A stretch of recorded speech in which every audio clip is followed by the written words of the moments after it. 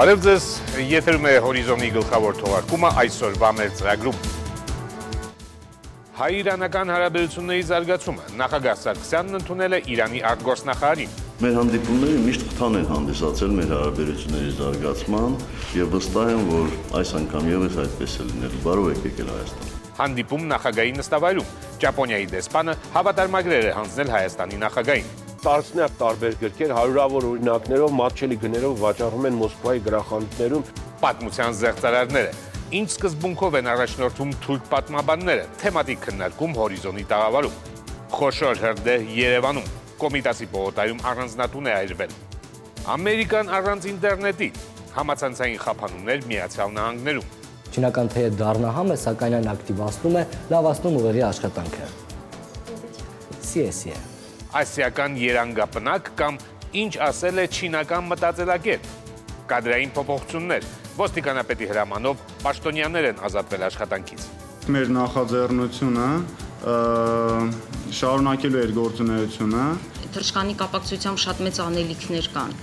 Հասարակական արձագանքի արժեքը. Թրջկանի շուրջ հետաքրությունը չի նվազում։ Նեթանյահուն ազդում է Սարկոզիի նյարդերի վրա։ Անդրկուլիսյան կարծիքներ Իսրայելի վարչապետի մասին աղ են ցանվել, երթևեկելի է, ձյունը դադարել է, վտանգավոր երևույթներ չկան։ Առատ տեղումներ Լոռու մարզում, տրանսպորտային կուտակումներ Վանաձոր Ստեփանավան ճանապարհին։ Զանգվածային ավտովթար Ալթայի երկրամասում։ Մերկասարուսի վրա տասնյակ մեքենաներ են բախվել։ Նախ այցելությունների մասին գիտեք, որ երեք Հայաստանում էր գտնվում մեր հարևան երկրի Վրաստանի արտգործնախարար, իսկ այժմ նախագահ Սարգսյանն ընդունել է նաև մեր մյուս հարևան պետության Իրանի արտաքին գործերի նախարար Ալի Ակբար Սալեհին։ Նախագահ հայ եւ իրանցի բարձրաստիճան պաշտոնյաների փոխայցելությունները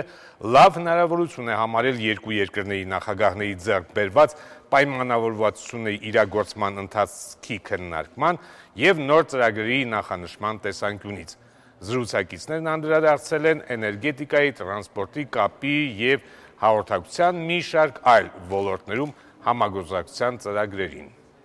Այսպիսի հանդիպումները շատ լավ հնարավորություններ են քննարկելու, հարստացնելու հայ-իրանական հարաբերությունների առանց այն էլ հարուստ օրակարգը թարմացնելու պայմանավորված խնդիրների լուծումներին հետևելու տեսակետից։ Ուրախ եմ արձանագրելու, որ հայ-իրանական հարաբերությունները այսօր գտնվում են բարձր մակարդակի վրա։ Աճում են համատեղ ծրագրերի քանակը, ակտիվանում է մշակութային փոխանակությունը, չնայած ճգնաժամին առևտրատեսական մեր հարաբերությունները լավ են զարգանում եւ ամենայն հավանականությամբ այս տարի մենք կանցնենք 300 միլիոն դոլարի սահմանը, Դա պատմականորեն արձանագրված ամենամեծ ցուցանիշը կազմի։ Ես ուրախ եմ, որ շուտով հնարավորություն ենք ունենալու իմ բարեկամի Իրանի Իսլամական Հանրապետության նախագահ պարոն Ախմեդնիժադի հետ Հայաստանում քննարկելու մեր հարաբերությունների ընթացքը եւ հետագա խորացման խնդիրները։ Մեր հանդիպումները միշտ խթան են հանդիսացել մեր հարաբերությունների զարգացման եւ վստահ եմ, որ այս անգամ եւս այդպես է լինելու։ Բարով եք եկել Հայաստան։ Խինավիճակի Շատ շնորհակալ։ Սերժ Սարգսյանին այսօր իր հավատարմագրերն է հանձնել Հայաստանում Ճապոնիայի նորանշանակ դեսպան Տիկահիտո Հարադան, որի նստավայրը Մոսկվայում է։ Հայաստանի նախագահ կարևորել է հայ-ճապոնական հարաբերությունների զարգացումը, արձանագրել է վերջին տարիներին քաղաքական շփումներում նկատելի աշխուժությունը, արտաքին գերատեսչությունների միջև կանոնավոր քաղաքական խորհրդատվությունները։ Տիկահիտո Հարադան նախագահ Սարգսյանին վստահեցրել է, որ կանի հնարավորը երկկողմ կապերի խորացման համար։ Իսկ այժմ Հայաստանի եւս մի հարևանի Թուրքիայի մասին։ Մոսկվայում վերջերս լույս է տեսել մի գիրք, որը կոչվում է այսպես՝ հայկական հարցը ռուսական արխիվների 120 փաստաթղթերում։ Հեղինակը թուրք երիտասարդ իրավաբան Մեհմեդ Փերինչեկն է։ Հայաստանցի մասնագետների կարծիքով, չնայած գիրքը իրոք հիմնված է փաստաթղթերի վրա, բայց դրանք ներկայացվում են միակողմանի։ Քիչ հետո այդ մասին ավելի մանրամասն կխոսենք Արամ Աբրահամյանի հետ թեմատիկ վերլուծություններ շարքում, բայց նախ մեր տեսանյութը։ Փերինչեկի նոր գրքի շնորհանդեսը Մոսկվայում բոլորովին վերջերս էր, ընդ որում հայ, թուրք եւ ադրբեջանցի լրագրողների ներկայությամբ։ Հեղինակը ներկայացնում էր ինչ աղբյուրներից է օգտվել։ 120 փաստաթղթից 63-ը ռուսական են, մնացածը վերցված են 20-ական 30-ական թվականների հակադաշնակցական քարոզչական գրականությունից։ Իրադարձությունները, որոնք տեղի ունեցան առաջին աշխարհամարտի ժամանակ, արևելյան Անատոլիայում չի կարելի որակել ցեղասպանություն։ Դա փոխադարձ կոտորած էր, որը հրահրել էին արևմտյան իմպերիալիստական երկրները, որպիսի մասնատեն եւ թուլացնեն Օսմանյան կայսրությունը։ Ինչու է ձեր գրքում մարդկության դեմ իրագործված ոչրագործության, այդ թվում եւ Թուրքիայի համար այդքան մեծ ճարիք հանդիսացող փաստի մասին մոտեցումը այդքան կանխակալ եւ ոչ օբյեկտիվ։ Իսկ ինչու՞մն է խնդիրը, եթե փաստաթղթերը կեղծված չեն, դրանք պարզապես թերի են եւ կրճատումներով։ Նշված է 200.000-ին ոչնչացրեց։ 200.000-ը միջակետքից ճանապարհին սպանվեցին։ Բայց նա այդ հատվածը հանել է, որովհետեւ ով կբացի հանրագիտարան Նույնիսկ մեծ ցանկության դեպքում է դա շատ դժվար։ 1926 թվականի հանրագիտարանը շատ քիչ տեղերում է պահպանված։ Հայաստանի ազգային արխիվն ի պատասխան ցեղասպանության փաստերի կեղծիքների վերսկսում է վշտապատումի հրատարակություն արդեն ամբողջական 3 հատորներով։ Դրանում վկայություններ են անմիջապես 1915 թվականի կոտորածներից հետո խուզարկելով դուրս կբերին պահված տղամարդիկ ու տեղնուտեղ կսպանին, հետո 10, 12, 15 տարեկան 20 հայ տղա հավաքելով կտանին գյուղեն քիչ հեռու ու մեկիկ մեկիկ կմորթին։ Չարչարանքի ատեն երեխաներին մեկը կմխիթարի իր ընկերներ ասելով, թե մեր ազգի ու հավատի համար է, որ կմեռնինք։ Արճակ գավառի Սևան գյուղի բնիկ գյուղացի եւ ականատես Պողոս Ավետիսյանի ցուցմունքներից մի հատված էր։ Նման տեղեկություններ կան հայկական շուրջ 700 գյուղերից ես 2005 թվականին որոշ դաժան պատկերներ ուղակի հանել էի տղա երեխաների նկատմամբ բռնաբարության նկարագրությունները ոստիկանները փոքր երեխաներին ինչպեսի այդ ինչպես են դա կատարել Վշտապատման նոր հրատարակություններում ամեն ինչ արդեն ներկայացվելու է այնպես ինչպես նկարագրված է ականատեսների վկայություններում ու արդեն նաև անգլերեն եւ ռուսերեն թարգմանություններով Փերինչեկի գիրքը ռուսերեն է, դրա համար ավելի մեծ ողջավորությամբ է այն ընդունվել Ադրբեջանում, քան Թուրքիայում։ Ընդհանրապես թե թուրք, թե ադրբեջանցի նորեղինակների ցեղասպանության Ղարաբաղի խնդրին առնչվող եւ այլ բնույթի հակահայկական քարոշչությամբ գրքերն այսօր բազմաթիվ են։ Ցանկացած մոսկովյան գրախանութ մտեք, տեսեք Ջամալ Հասանլիի, մյուսների մյուսների գրքերը տասնյակ օրինակներով, այսինքն տասնյակ տարբեր գրքեր, հարյուրավոր օրինակներով, մատչելի գներով վաճառվում են։ Հաշվի առնելով, որ հայերը ծրված են ապրել Օսմանյան կայսրության ամբողջ տարածքում ու ոչ միտեղ գերիշխող թվակազմ չունեին, ակնհայտ է դառնում, որ ինքնուրույն պետություն ստեղծել չէին կարող։ Կամ Անկախ նրանից ինչպես են նրանք ներկայանում, մեզ համար մինչև հիմա Ղարաբաղի հայերը ալբանացիներ են համարվում, ինչի մասին վկայում են նրանց բնորոշ առանձնահատկությունները։ Երկու հատված ներկայացրեցի ռուսերենից թարգմանաբար. Գրքի հեղինակը ադրբեջանցի պատմաբան Քեմալ Իմրանլին է։ Գիրքը կոչվում է Հայկական պետության ստեղծումը Կովկասում։ Գրվել է 2005 թվականին, լույս է տեսել 2006-ին Մոսկվայում։ Արտակովանյան, Ժիրայր Հաբետյան, Հորիզոն Արամ, հերթական անգամ երբ այսպիսի մի գիրք է լույս տեսնում, մանավանդ սա թուրք, ասում են, երիտասարդ պարզապես փաստաբանի գիրք է, մտածում ես, բայց չէ որ կան տասնյակ հազարավոր հավաստի տեղեկություններ շատ ավելի լուրջ աղբյուրներից ոչ թե ինչ որ իրավաբանի արժի ընդհանրապես անդրադառնալ, բայց մյուս կողմից մտածում ես, եթե ես չեմ անդրադառնում, ուրեմն ընդունում եմ։ Դե իսկապես որ այս եթերում, հա, ես ու դու իրար պետք է համոզենք, որ ցեղասպանությունը եղել է կամ մեր հայալեզու, հա, հայ հերոստատիտողին կարծես թե դրա խնդիրը չկա։ Խնդիրը ուրիշ է քննարկել որքանով է այդ պատանի ուրեմն իրավաբանի գիրքը կարող ազդել միջազգային հասարակական կարծիքի վրա։ Լրագրող լինելով մենք շատ լավ հասկանում ենք, որ կարելի է վերցնել քեզ ձեռնտու փաստերը, քեզ ձեռնտու կարծիքները եւ ներկայացնել այն որպես օբյեկտիվ ճշմարտություն։ Այստեղ հավանաբար ուշադրության է արժանի մի ձեռնացություն, որին դիմում է Մեհմեդ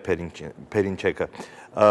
Իր ճշմարտությունը նա փորձում է ասել ուրիշների շուրթերով։ Լսենք մի րոպե նրան։ Ես ավելի քան 10 տարի զբաղված եմ Ռուսաստանի պետական արխիվներում հայկական հարցը ուսումնասիրելով։ Ցանկանում եմ բացել փակագծերը։ Այս գրքում չկա ոչ մի փաստաթուղթ, որը ստորագրվել է թուրքական գործիչների կողմից։ Չկա ոչ մի փաստաթուղթ ստորագրված Օսմանյան գործիչների կողմից։ Այստեղ ներառվել են միայն փաստաթղթեր, որոնք ստորագրել են հայ, ռուս, խորթային ու ցարական պաշտոնյաները։ Տես Արամ, հենց այս փաստը, որ ասում եմ միայն ռուսական փաստաթղթեր են, նախ որքանով են դրանք հավաստի, որովհետև Ռուսաստանը այն ժամանակ պատերազմի մեջ էր Թուրքիայում եւ դեսպանություն չուներ։ Իսկ գլխավոր այդ փաստերը, վկայությունները եղել են Ամերիկայի դեսպանի, Գերմանիայի եւ այլ եւ այլ։ Եվ երկրորդ, ասում են նաեւ, որ խորթային տարիների փաստաթղթերն են։ Բոլորս գիտենք, դա գաղտնիք չէ, որ խորթային տարիներին Մոսկվան չէր սիրում խոսել ընդհանրապես ցեղասպանության մասին կամ երբ խոսում էր այն ժամանակ, երբ որ նրան ձեռնտու էր։ Ես ընդհանրապես տեսեք ինչ է ուզում անի։ Նա մոտեն մատուցում է սխալ կանխավարկած, որ Ռուսաստանը եւ Խորհրդային Միությունը միշտ պարտադիր շահագրգռված էին հայերին պաշտպանել եւ ներկայացնել այդ իրադարձությունները որպես ցեղասպանություն, բայց դա այդպես չէ։ Իհարկե այդպես չէ։ Եվ եթե ինք ասում են Լենինին, Աթաթուրքին, Այսինքն Աթաթյուրքի հետ ախբերություն անող մարդը ինչու պետք է շահագրգռված լինի, հա? Եվ երբ որ նրանցից մեկը իբր նրա տրամաբանությամբ չի հաստատում, դե ուրեմն եթե նրանց ուրեմն դաշնակիցները չեն հաստատում, ուրեմն էլ ինչ ասենք։ Բայց դա բանը པարզ ձեռնացություն է, ոչ միայն Ռուսաստանը եւ Խորհրդային Միությունը, այլև ցանկացած այլ երկիր երբեք չի կանգնում սկզբունքը գերտերություն, չի կանգնում սկզբունքի կողքին։ Երբ որ իրեն ձեռնտու է մի բան է ասում, ձեռնտու չի ուրիշ բան է ասում։ Հիշում ես վերջերս Կոնդոլիզա Ռայսը պատմեց, թե ինչպես էր նա աղաչում Ամերիկայի Միացյալ Նահանգների կոնգրեսին, որ նրանք չընդունեն բանաձև ցեղասպանության մասին։ Այդ փաստաթուղթը նույնպես կարելի է ուրեմն հաշվել, որ դա ցեղասպանությունը շղթող փաստաթուղթ է։ Այդպես որ կարծում եմ այդ գիրքը դարակազմիկ նշանակություն չի ունենա։ Լավ, Արամ Աբրամյաններ ստուդիայում։ Հիմա անցնենք միջազգային բաժնին եւ սկսենք կրկին Եվրոպայից, որը շարունակում է ցնցումներ ապրել։ Այն, ինչ կատարվում է այս օրերին Հունաստանում եւ Իտալիայում, չափազանց բացասական ազդեցություն է գործում հասարակ եվրոպացիների տրամադրությունների վրա։ Հոլանդիայում, օրինակ, որտեղ իրավիճակը համեմատաբար կայուն է, ահագնանում են, այսպես ասենք, հակաեվրոյական միտումներ, այսինքն եվրոյի դեմ։ Այսօր հոլանդացիների մեծամասնությունը մոտ 60%-ը դեմ չէր լինի, եթե իրենց երկիրը հրաժարվեր ընդհանրապես եվրոյից եւ վերադառնար ազգային տարադրամին։ Նրանք պարզապես չեն հասկանում, թե ինչու պետք է իրենք ճիքեր գործադրեն փրկելու համար այն երկրները, որոնց ղեկավարները այդ վիճակի են հասցրել սեփական ժողովրդին։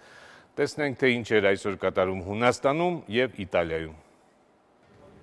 Հունաստանի կառավարության անդամները, որոնք այսօր հավաքվել էին արտահերտ նիստի, վարչապետին են ներկայացրել իրենց հրաժարականները արագացնելու համար ազգային միասնության կառավարության կազմավորումը։ Սպասվում է, որ առաջիկա ժամերի ընթացքում հայտնի կդառնա նոր վարչապետի անունը։ Իսկ Իտալիայում Սիլվիո Բերլուսկոնիի հրաժարականն են պահանջել նույնիսկ նրա կոալիցիոն գործընկերները, սակայն Բերլուսկոնին հայտարարել է. Իտալիայի միակ այլընտրանքը ես եմ Այսօր Գերմանիայում հանդիսավորությամբ բացվել է այսպես կոչված Nord Stream գազատարը, որը ռուսաստանյան գազը Բալթիկ ծովի հատակով կհասցնի Եվրոպա, շրջանցելով Ուկրաինան եւ Լեհաստանը։ Արարողությանը մասնակցել են Ռուսաստանի նախագահ Դմիտրի Մեդվեդևը, Գերմանիայի կանցլեր Անգելա Մերկելը, ինչպես նաև Ֆրանսիայի եւ Հոլանդիայի վարչապետները։ Աշխարհի ամենաերկար ստորջրյա գազամուղի գործարկումը ծանր հետևանքներ կունենա հատկապես Ուկրաինայի համար, որը կկորցնի ռուսաստանյան գազի տարանցիկ տեղափոխման համար ստացվող եկամուտների մի զգալի մասը։ ՄԱԿ-ն այսօր հայտարարել է, թե Սիրիայում վերջին ամիսների ժողովրդական հուզումների ժամանակ սպանվել է 3500 մարդ։ Անցած շաբաթ Արաբական լիգան հայտարարել էր, թե Սիրիայի իշխանությունները պատրաստ են բանակցել ընդդիմադիրների հետ, բայց դրանից հետո էլ Սիրիայում սպանվել է մոտ 60 ցուցարար։ Ինչ են իրականում մտածում աշխարհի հզորները միմյանց մասին։ Այսօր հրապարակվել է Նիկոլա Սարկոզիի եւ Բարակ Օբամայի զրույցը Իսրայելի վարչապետ Բենյամին Նեթանյահուի մասին։ Անցած շաբաթ մեծ 20-յակի գագաթնաժողովում Սարկոզին Օբամային ասել է. Ես տանել չեմ կարող այդ Նեթանյահուին, նա պարզապես սուտասան է։ Ինչին Օբաման պատասխանել է. Դուք կարող եք հոգնած լինել Նեթանյահուից, բայց ես ստիպված եմ ամեն օր շփվել նրա հետ։ Այս անձնական խոսակցությունը լրագրողները լսել են, բայց հրապարակել են միայն այսօր։ Բրիտանացի այս հրահանգիչը ցույց էր տալիս շինարարական ընկերություններից մեկի բանվորներին, թե ինչպես պետք է օգտվել աստիճանից։ Մի պահ նա նույնիսկ կախվել է աստիճանից, ասելով. «Տեսնում եք, հիմա էլ չեմ ընկնում»։ Սրանք նրա վերջին խոսքերն էին ընկնելուց առաջ։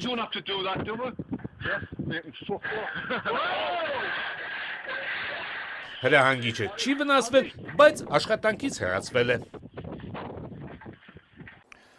Եվ մի լուրեր Ռուսաստանից, որտեղ խոշոր ավտովթար է տեղի ունեցել, Ալթայի երկրամասի ճանապարհներից մեկի վրա միմյանց են բախվել միանգամից 18 մեքենաներ։ Պատճառը տեղացած ձյունն է եւ ճանապարհների մերկասառույցը։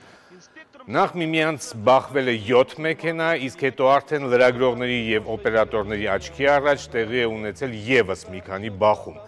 Զոհեր եւ վիրավորներ չկան։ Ճանապարհային ոստիկանները վթարից հետո հայտարարել են, որ չափազանց դժվար կլինի որոշել, թե վթարի մասնակիցներից ով է մեղավոր։ Մի բան սակայն ակնհայտ է։ Համապատասխան ծառայությունները ձյան մաքրումն ու ճանապարհի մշակումը հատուկ նյութերով ժամանակին չեն իրականացել, իսկ մեքենաներից շատերը եղել են ամառային անվադողերով։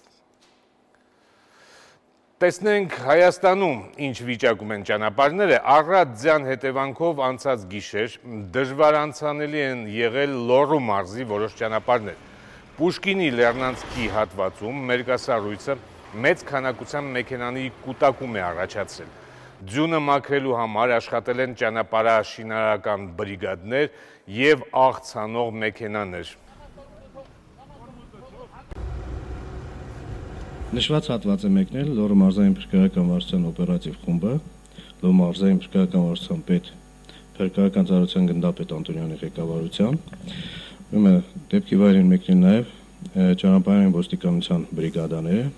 Լոռու մարզպետի տեղակալ պարոն Դարփինյանի հանձնարարությամբ աշխատանքներ իրականացնելու համար դուրս են հանվել ճանապարհաշինարական շարասյունների բրիգադաներ, աղցանող մեքենաներ։ Ուրեմն ներկա պահին ճանապարհները աղ են ցանվել, երթևեկելի է, ձյունը դադարել է, վտանգավոր երևույթներ չկան։ Վերադառնանք Երևան, այսօր հրդեհ է բռնկվել Մայրաքաղաքի Կոմիտասի պողոտայում կիսակառույց մի շենքում։ Հրշեջներին հաջողվել է կրակը մարել մոտ կես ժամ անց։ Այրվել է շինության տանիքը 300 քառակուսի մետր մակերեսով, տուժածներ բարեբախտաբար չկան։ Հրդեհի պատճառը դեռ հայտնի չէ, իսկ ըստ ականատեսների կիսակառույցում շինարարական աշխատանքներ են ընթացել։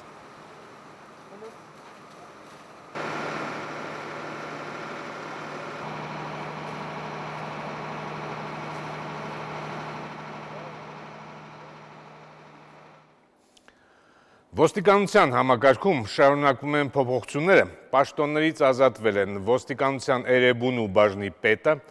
Ճանապարհային ոստիկանության Երևան քաղաքի առաջին եւ երկրորդ հաշվառման քննական բաժամունքների պետերը։ Նրանք տեղափոխվել են կադրերի ռեզերվ։ Եվ էլի թրջկանի ջրվեժի մասին. Ամեն անգամ թվում է, թե գոնե այս հարցում հանրության միջամտությունից հետո վերջակետը դրվել է, բայց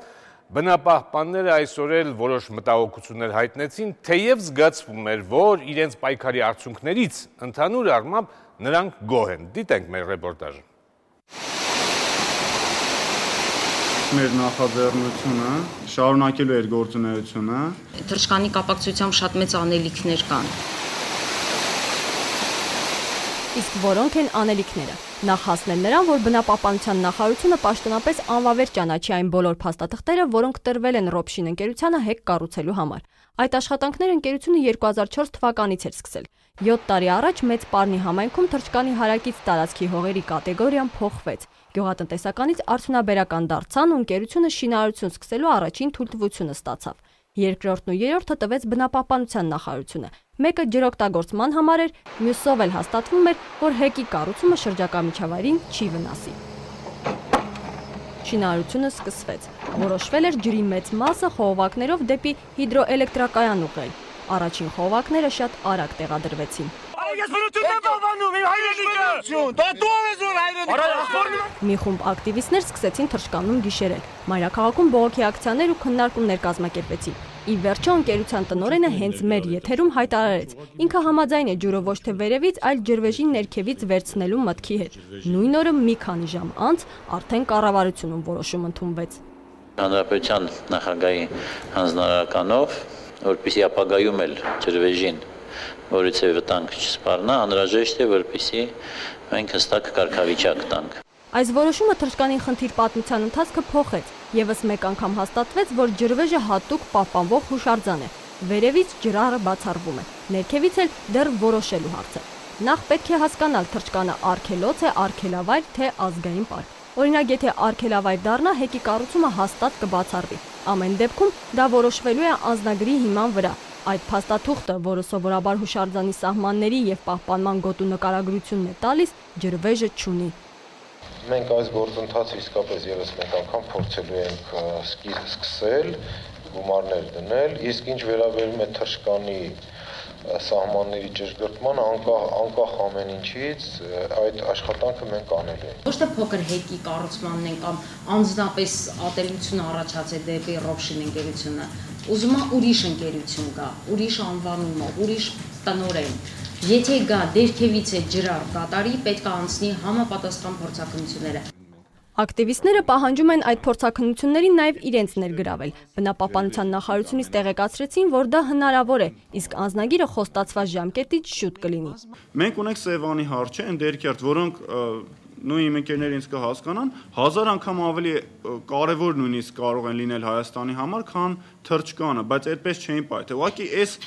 խնդիրը այնքան པարզ էր, այնքան անհեթեթ էր այդ տրված որոշումները, որ ցանկացած մարդ ուղղակի որ տեսնում էր ինչա կատարում, ասել ոնց թե էս ինչ են անում։ Բավականին միասնականություն է եւ ես հույս ունեմ, որ սա սկիզբն է շատ լուրջ էկոլոգիական շարժման, որը արդյունք պիտի տա եւ ի վերջո այս նեոլիբերալիստական քաղաքականությունը պետք է հաղթի։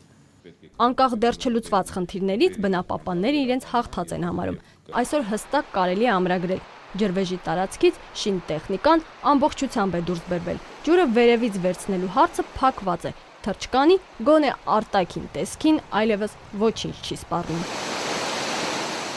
Արփիս Քեսյան, Էդվարդ Մինասյան, Հորիզոն։ Այսօր ուզում ենք մի փոքր խոսել մեծ երկրի մասին, շատ մեծ, Չինաստանի։ Այս տարի Չինաստանը իր տնտեսության ծավալով գերազանցեց Ճապոնիային եւ դարձավ աշխարհի թիվ 2 պետությունը Միացյալ Նահանգներից հետո։ Եվ որոշ վերլուծաբաններ պնդում են, որ ընդհանուր առմամբ 21-րդ դարը չինացիների դարն է լինելու։ Իսկ հիշում եք, որ մի առիթով Վազգեն Սարգսյանն էլ համոզմունք էր հայտնել, որ 21-րդ դարը նաև հայերի դարն է լինելու, այնպես որ այսօր խոսենք չինացիների եւ հայերի մասին։ Դե խորհրդային միությունում միայն գիտեինք, որ Մաո Ձեդունի հետ հարաբերությունները մեկ վատանում, մեկ լավանում էին Հայաստանի անկախության արշալույսին։ Շատերը կհիշեն Հայաստանին տրված այդ տխրահրճակ չինական պարտքի հետ կապված պատմությունը, իսկ վերջերս էլ Երևանում սկսեցին ժողովրդականություն վայելել չինական ռեստորանները։ Եվ ուրեմն մեծ ազգ, փոքր ազգ, նմանություններ եւ տարբերություններ։ Խնդրեմ Նի հաո Չինացիների համար առանձնահատուկ նշանակություն ունի թեյը։ Չինական թեյը դառնահամ է, սակայն այն ակտիվացնում է, լավացնում ուղեղի աշխատանքը։ Սիեսիե։ Ավելին, ըստ իմաստասերների, չինական թեյը միջնորդի դեր է կատարում Բուդդայի եւ թեյը խմողի միջև։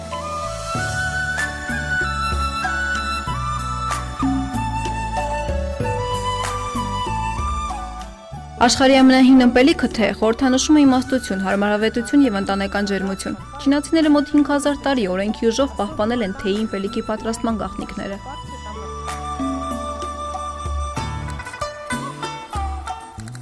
Չինացիներին նախ եւ առաջ հատուկ է քաղաքավարությունը, կանանձնացնել նաեւ արարողակարգային լինելը։ Նրանք միշտ պլանավորում են իրենց անելիքը մանրամասն եւ հատուկ։ Երրորդը դեմքը պահպանելն է։ Դեմքը կորցնելը նրանց ազգային ֆոբիան է։ Չինացիները դեմքը կորցրած են համարում այն ժամանակ, երբ հասարակությունը չի ընդունում նրանց։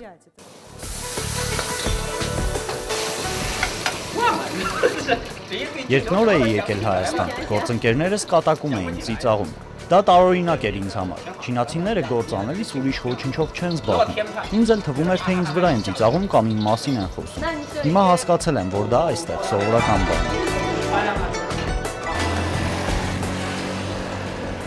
любопытно, как они переходят улицу. Չինացիները փողոցն անցնում են բախտի բերմամբ, համարյա փակ աչքերով։ Չեն նայում կարմիր լույսը հեծանիվ է գալիս թե մեքենա։ Բավական է, որ անցորդը ձեռքի մի այսպիսի շարժում անի եւ ճանապարհը նրանն է։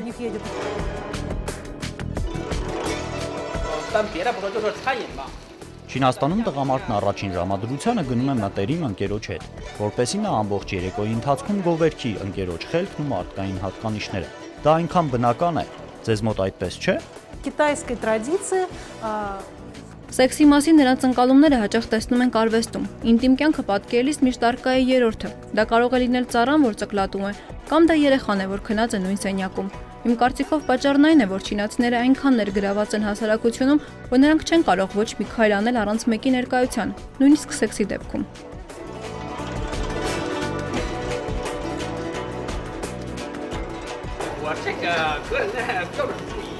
Հարաբերություն սկսելուց առաջ ինձ համար կարևոր է աղջկան շատ լավ ճանաչելը։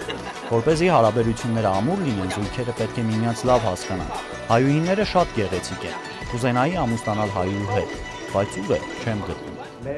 Ամուսնությունը չինացու եւ արտասահմանցու միջև ընդունված է։ Հիմա դա ավելի հաճախ է պատահում։ Հաճախ կինն է արտասահմանցի լինում։ Դա բացատրվում է նրանով, որ տղամարդիկ ավելի շատ են, քան կանայք։ Չին տղամարդիկ ավելի վստահելի են։ Նրանք ընտրել են գործը, կին եւ լավ են վերաբերվում իրենց ընտանիքին։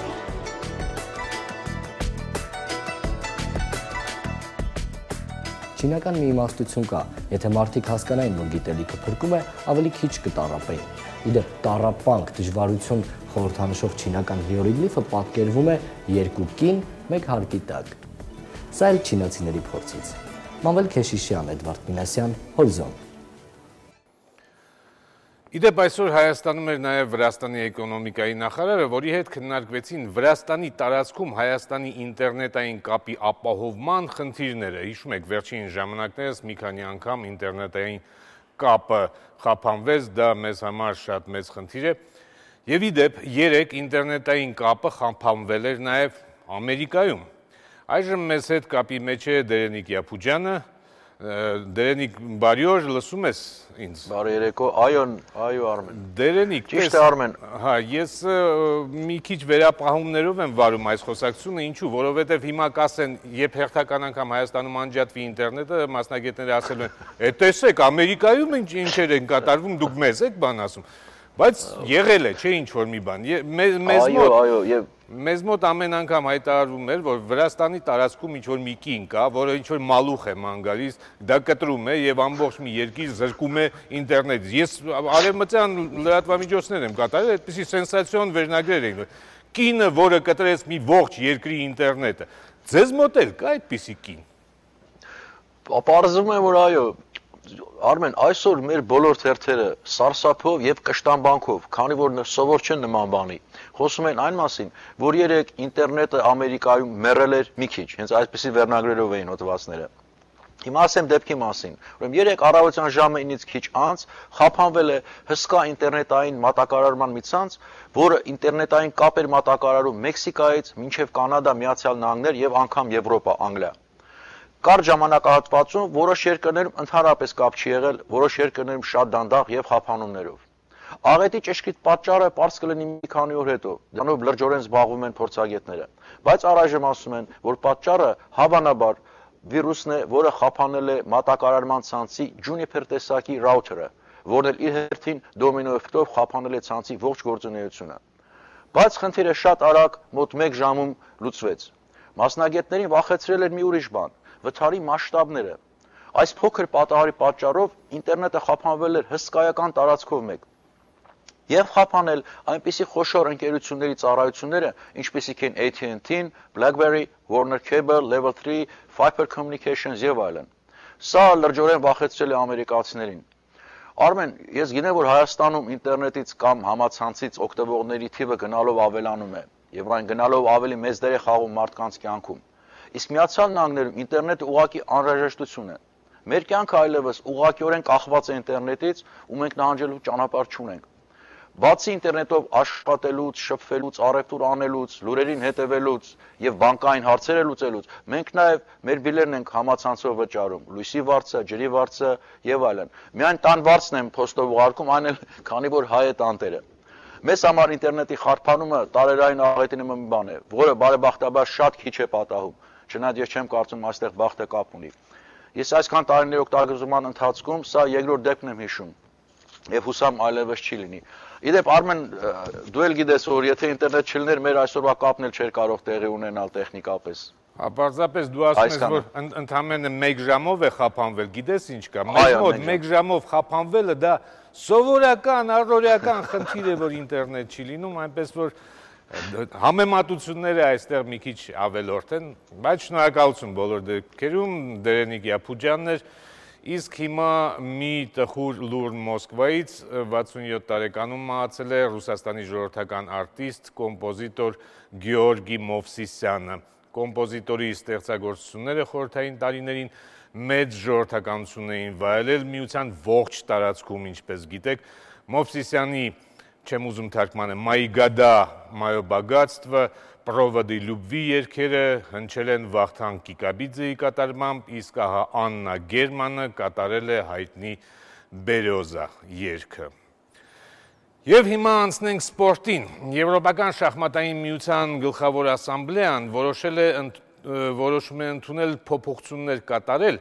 շախմատային մրցաշարերի կանոններում։ Վարդան Թաթևոսյանն է ստուդիայում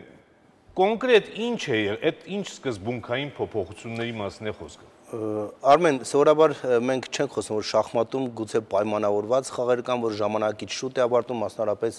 երեք Եվրոպայի առաջնությունում Ֆրանսիա-Ադրբեջան հանդիպումը շատ արագ ավարտվեց, Հաշիմովը վատ առողջ էր զգացել, դրա համար համաձայնվեցին ոչ ոքի։ Գուցե դա էր պատճառը կամ գուցե նախապես արդեն մշակված հարց էր, բայց ասամբլեան որոշեց, որ 2013-12 թվականի հունվարի 1-ից մինչև 40 քայլը ոչ ոքի արդյունք չգրանցել։ Այսինքն շախմատիստները պիտի խաղան 40-ից ավելի քայլ, հետո համաձայնվեն ոչ ոքին։ Իսկ որ մեկը տանի մինչև 40 Դե դա արդեն հաղթանակ, այցակնային հաղթանակ կհամանա։ Դա պարզ է։ Ավելին Սպորտի գործընկեր Օմոն միշտ մի փոքր ավելին Շախմատի Եվրոպայի թիմային առաջնության 6-րդ տուրում Հայաստանի հավաքականը 2.5-1.5 հաշվով առավելության ասավ իսպանացիների նկատմամբ, վճռական եղավ Գաբրիել Սարգսյանի հաղթանակը Արիսմենդի Մարտինեսի նկատմամբ, Լևոն Արոնյան, Ֆրանսիսկո Վալեխո, Սալգադո Լոպես, Սերգեյ Մովսիսյան, Վլադիմիր Հակոբյան, Իլիաս Կասկորդոբա պարտիաներն ավարտվեցին ոչ ոքի։ Հաղթանակ տարան նաև Հայաստանի կանանց հավաքականի մարզուհիները, նրանք 3-1 հաշվով առավելության ասան Հունաստանի նկատմամբ այստեղ հաղթանակներ տարան Աղինյանն ու Գալոյանը, Դանելյանն ու Կուրսովան պարտիաներն ավարտեցին ոչ ոքի։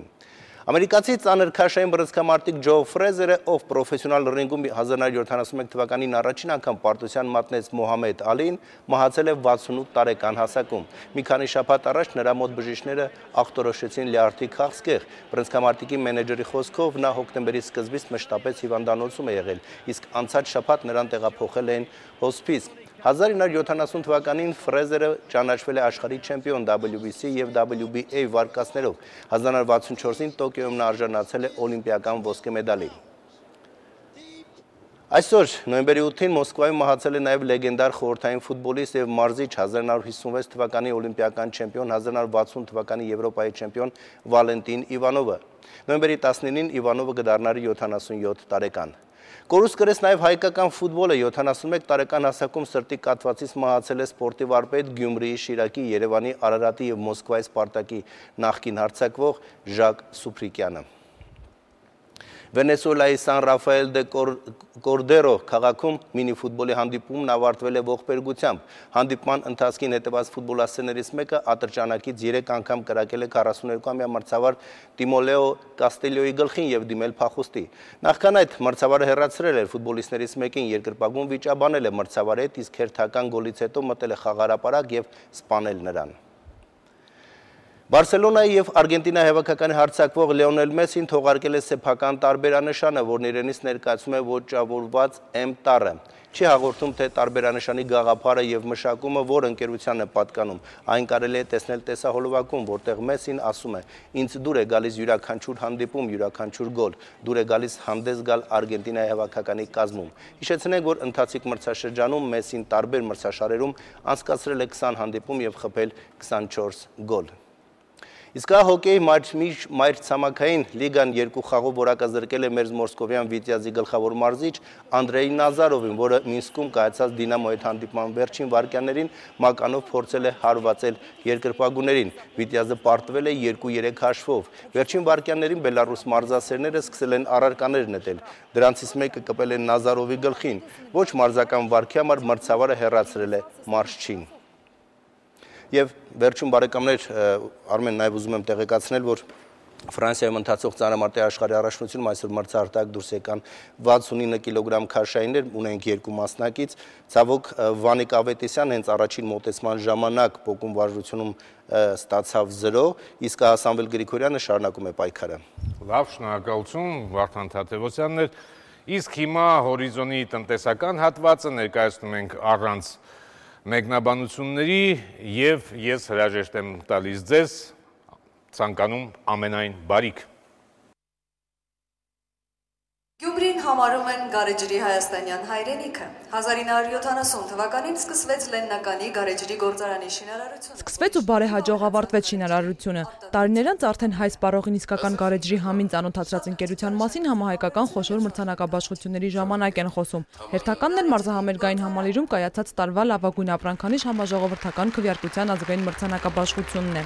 Ավանդույթների պահապան անվանակարգում լավագույնն է ճանաչվել Գյումրի գարեջուր ընկերությունը։ Գարեջուր սիրողները միաձայն են հաստատում։ Գյումրի գարեջուրը առանձնանում է անկրկնելի համով։ Ընկերության աշխատակիցներն էլ շեշտադրում են գարեջրի ավանդական տեխնոլոգիայի պահպանումը։ Գործարանն այն եզակիներից է Անդրկովկասում, որոնք արտադրում են բարձր որակի ածիկ սեփական արտադրանքի հումքն ապահովելու համար։ Դա նաև մեզ պարտավորեցնում է, որ մենք պետք է ավելի բարձրացնենք մեր արտադրանքի որակական հատկանիշները եւ համային եւ ոչ մի դեպքում չպետք է իջնենք երկրորդը, որովհետեւ մենք միշտ պետք է մնանք մեր սպառողների մոտ լավագույնը եւ մենք դրա համար ջանք չենք խնայում Գարեջուրը թույլ ալկոհոլային ածխածնի երկօքսիդով հագեցած փխրուն խմիչք է, որը ստացվում է գարու եւ ջրի մշակման, այնուհետեւ որոշակի ժամանակահատվածում հնեցման եղանակով։ Սա ավանդական գարեջրի պատրաստման տարբերակն է ընդունված գարեջրագործության մեջ։ Գյումրի գարեջուրն էլ պահպանելով ավանդականն ու հոգալով գարեջրասերների մասին, առաջարկում է Գյումրի գարեջրի գոլդ, լագեր եւ կլասիկ տեսակները։ Առհասարակ չեմ խմում, բայց խմելուց խմում եմ Գյումրի։ Շատ լավն է, շատ դուր է գալիս։ Շնորհակալ ենք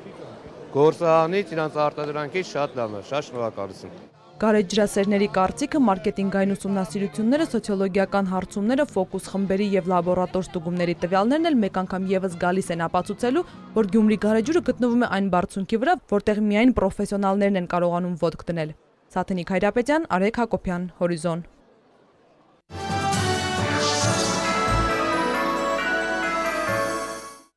Բարգավաճ Հայաստան կուսակցությունն ու Գագիկ Ծառուկյան բարեգործական հիմնադրամը մեծ թափով ու երանդով հանրապետության ամբողջ տարածքում շարունակում են անվճար առողջապահական ակցիան։ Էրեբունի բժշկական կենտրոնի լավագույն մասնագետները միևնույն սկզբունքներին հավատարիմ իրենց կարևոր ու պատասխանատու առաքելությունն են շարունակում Լոռու մարզի բնակավայրերում։ Բժիշկների օգնության կարիքը մեծ է հատկապես երկրաշարժ վերապրած սպիտակցիների համար։ Ֆինանսական ու սոցիալական խնդիրների պատճառով այստեղ հետին պլան է մղվել ամենակարևորը՝ առողջությունը։ Հետևաբար այն վերականգնելուն ուղղված այս նախաձեռնությունը սպիտակում առավել քան բարձր են գնահատում։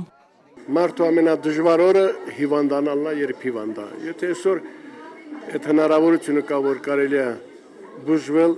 միայն մնում է շնորհակալություն հայտնել։ Անցյալ տարի էլ եկա շատ գոյին։ Մինչև այսօր առեսօր լավ ենք էլի։ Գումարի խաթեր չեմ դիմի բժշկի։ Այս ակցիայով մեր հոգսը շատ թեթևացնում է եւ շատ գոհ շնորհակալ ենք։ Ես 5 ամիս պետք է հավաքեի ցոշակ, որպեսզի կարողանայի գնալ վիրահատման։ Ուղղակի իրենց է, որպեսզի գնամ Բերեբունի բժշկական կենտրոն վիրահատման։ Վանաձորի քաղաքային պոլիկլինիկան մարդաշատ է դեռ վաղ առավոտից նախաձեռնությունն այստեղ է համախմբել տարբեր սեռի ու տարիքի հարյուրավոր մարդկանց։ Բժիշկներն ընդունում եւ լսում են նրանցից յուրաքանչյուրի մտահոգությունները։ Հենց տեղում ոչ միայն անվճար բուժզննում ու խորհրդատվություն, այլ նաեւ բազմաթիվ ուղեգրեր դեպի Երևանի բժշկական կենտրոն։ Ստացիոնար եւ ամբուլատոր բուժումից բացի հիվանդներն այնտեղ նաեւ իրահատությունների հնարավորություն կունենան։ Ցանկությունը մեկն է՝ առողջություն ապարգևել բոլոր այն մարդկանց, ովքեր ունեն դրա կարիքը։ Մարդ անվճար բուժօգնություն է ստանում։ Դրանից ավելի ինչ կարա ասի։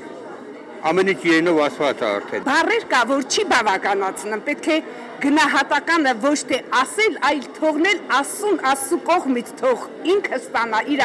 բարձրագույն գնահատականը։ Ակնաբուժնայելա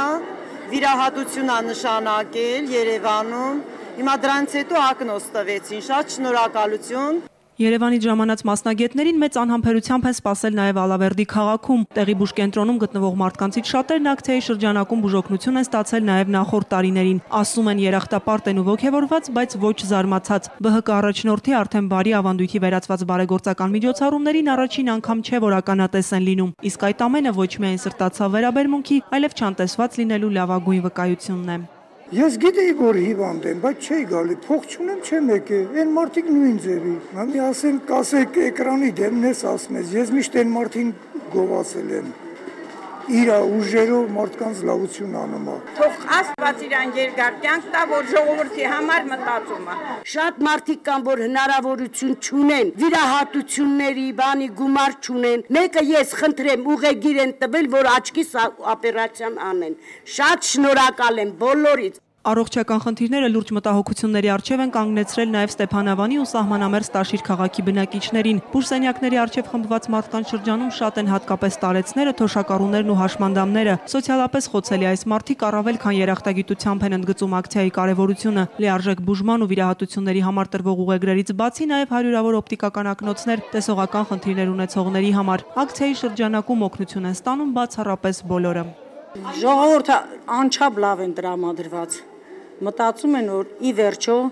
մարդկային արժեքը գնահատվում է մարդու առողջությունը կարևորվում է։ Սա արդեն ինքնստինքյան ասում է, որ ազգասեր մարդ է Գագիկ Ծառուկյանը, մտածում է իր ազգի համար, իր ժողովրդի համար։ Բոլոր մարզերում ինքը օգնություն է եւ բախշում ժողովրդին ծանր վիճակում մարդկան ձեռքա մեկնեմ, այսօր էլ հույսով հավատով եկել ենք, որ մեր հիվանդին ինքը ձեռք մեկնի Աստված իր հետ։ Այնպես լավ վերաբերվեցին, որ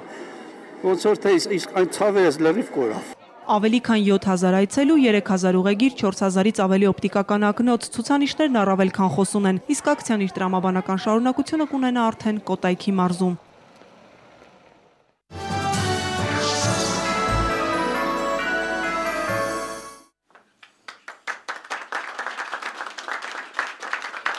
Պայմանագիրը, որ ստորագրվեց Արարատ բանկի կողմից, հաստատում է բանկի մուտքը միջազգային վարկային շուկա։ Միջազգային վարկային ծրագրում, որի հետ համագործակցության նոր փուլ է սկսում Արարատ բանկը, ընդգրկված են վերակառուցման եւ զարգացման Եվրոպական բանկը, ռուսական Պրոմսվիազ բանկը, բելգիական ՎԴԿ Սպար բանկը եւ լիբանանյան Բիբլոս բանկը։ Համաշխարհային խոշոր բանկերի կողմից փորձված ծրագիրն այսօր 12 միլիոն դոլարի սինդիկացված վարկ է տրամադրում նաեւ Արարատ բանկին։ Սա շատ կարևոր է, սա թիմային աշխատանքի է, ուզում եմ շնորհավորեմ Արարատ բանկի բաժնետերերին։ Արարատ բանկը զգալով իր սոցիալական պատասխանությունը մեր հասարակայնության համար հայտարարում է արտահանման խրախուսման նոր ծրագիր։ Մենք բոլոր արտահանող ընկերություններին պատրաստ ենք վարկավորել 9% տոկոսադրույքով տարեկան։ Բազմիցս լսել եմ այն հարցը, թե ինչու հատկապես Արադ բանկի հետ որոշեցինք աշխատել։ Պատասխանը միանշանակ է եղել։ Արադ բանկը այն բանկն է, որը կարողացել է կարճ ժամանակահատվածում ամրապնդել իր դիրքերը եւ առաջ է գնում հաստատուն քայլերով։ Սա այն բանկն է, որը արդեն իսկ մեծ վստահություն է ձեռք բերել միջազգային շուկայում եւ այս գումարը կօգտագործի ինչպես ի նպաստ ներկայի, այնպես էլ ապագա ծրագրերի նախագծման ու զարգացման համար։ 2011 թվականի ընթացքում սա Արարատ բանկի արդեն երկրորդ խոշոր միջազգային վարկային ծրագիրն է։ Առաջին 10 միլիոն դոլարի չափով վարկային պայմանագիրը բանկը ստորագրել էր հարավարևելյան եվրոպական հիմնադրամի հետ։ Այս ծրագիրը օգտագործվելու է փոքր եւ միջին բիզնեսի վարկավորման, իր օգտագործվելու է միջազգային առևտրի ֆինանսավորման համար Սեպտեմբերի վերջին Արարատ բանկի ակտիվները տարեսկզբի համեմատ աճել են ավելի քան 4 միլիարդ դրամով, 2.5 միլիարդ դրամով աճել են ֆիզիկական անձանցից ներգրավված ժամկետային ավանդները, 44.25%-ով աճել է պլաստիկ քարտերի քանակը, իսկ հաճախորդների թիվն ավելացել է մոտ 38%-ով։ Թվեր, որ փաստում են կարծիքներ, որ հնչում են եւ գործեր, որ հաստատում են։ Արարատ բանկն ունի իր ծանրակշիռ տեղը հայկական ֆինանսական շուկայում։ Սաթենիկ Հայրապետյան, Հայկ Վարդանյան, Հորիզոն։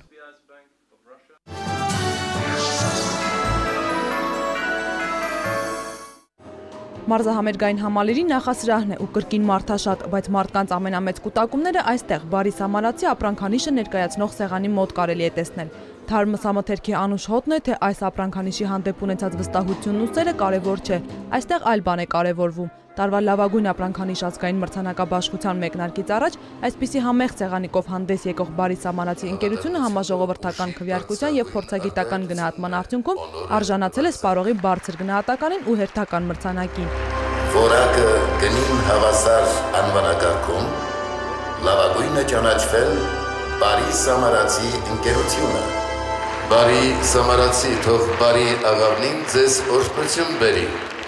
Համաժողովրդական վստահություն եւ լավագույն ապրանքանիշ ազգային անվանակոչում մեկ երեկոյի ընթացքում եւ երկար տարիների աշխատանքի արդյունքում։ Լավագույնի կոչման արժանանալու համար սակայն միայն երկար տարիների աշխատանքը բավական չէ։ Մարքեթինգային ուսումնասիրությունների, սոցիոլոգիական հարցումների եւ լաբորատոր ստուգումների տվյալների հիման վրա է միայն որոշվում եւ ընտրվում լավագույնը։ Խորի շնորհակալություն եմ հայտնում կազմակերպողներին